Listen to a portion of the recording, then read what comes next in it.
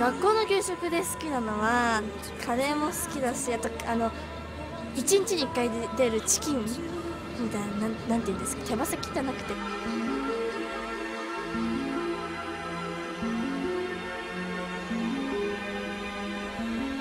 ダンスは多分研究生の中で一番下手なんです。なんか本当に最初のレッスンの時もずっと落ちこぼれ組で。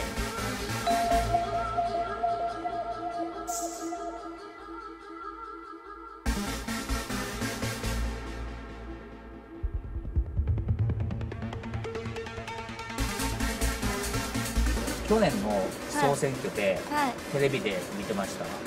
そうです。ねその時たまたま習い事とかがお休みの日でたまのチャンスとか見てましたテレビで。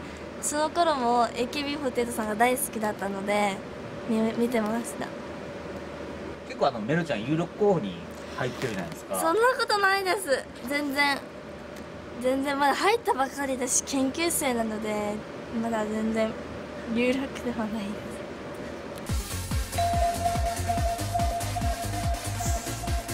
やっぱり自分がまさか名前が呼ばれるとは全然思ってもなかったので本当にびっくりしてもうありがとうとか文章では表せないなんか本当に感謝の気持ちでいっぱいです。でもやっぱ不安もそれと一緒にあって速報に入ってやっぱ日産スタジアムのステージに立てるかはまだ全然油断できないし安心できないので本番をあそこのステージに立てたらいいなって思います。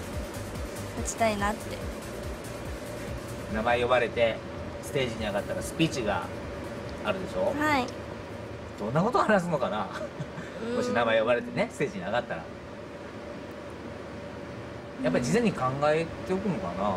いや私は多分その場で思いついたことを言いたいです。その考えてたらその時の気持ちじゃなくなっちゃうのでその時呼ばれた時の本当の素直な気持ちを皆さんに伝えたいです。